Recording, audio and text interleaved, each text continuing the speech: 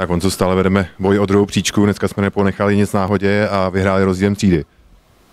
Tak je pravda, že eh, Šumperk eh, nepředvedl nic eh, závratného. My jsme ho přehrávali ve všech směrech. Dávali jsme góly a, a tím jsme odskočili a měli jsme klid. Oni nám to dost usnadnili i tím, že byli velice nedisci- nedisciplinovaní. Oni prostě byli každou chvíli na trestné lavici a tím vlastně sebe oslabovali a nám dávali ty možnosti skorovat, což jsme taky využili. Samozřejmě, tak oni se tím i unaví, takže už pak eh, nemají síly na to předvést nic dopředu.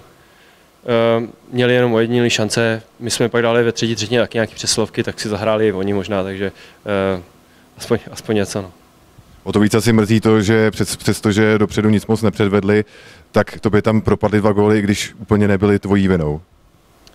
Jo, tak dlouho jsem to držel stav nulu na naší kontě a pak, pak jsme si dali dva góly sami, no, tak měli štěstí.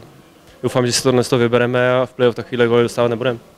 Chci se zeptat, eh, sledujete v kabině po očku, jak, vychá, jak eh, je zápas eh, Chomutova s Budějovicemi? Ne, ne, ne, to asi mm, těžko, těžko to budeme v kabině sledovat. Možná na té kostce, kdy jsou nějaké ty aktuální nebo průběžné výsledky, ale já jsem to třeba nesledoval, takže nevím ani. Tak porazím, když porazíme Chomutov, tak, tak pak už je to jenom v našich rukou. No.